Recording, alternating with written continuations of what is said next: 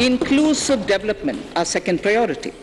Agriculture, the procurement of wheat in Rabi 21-22 and the estimated procurement of paddy in Kharif 21-22 will cover 1,208 lakh metric tons of wheat and paddy from 163 lakh farmers and 2.37 lakh crores will be directly payment, will be the direct payment of MSP value to their accounts.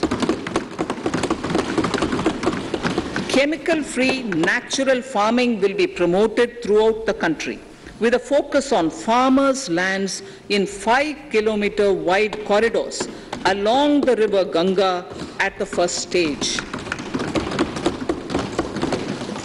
2023 has been announced as the International Year of Millets. Support will be provided for post-harvest value addition, enhancing domestic consumption, and for branding millet products nationally and internationally.